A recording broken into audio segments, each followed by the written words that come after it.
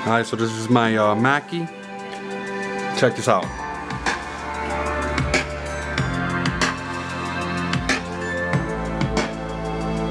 Just got this app, pretty dope.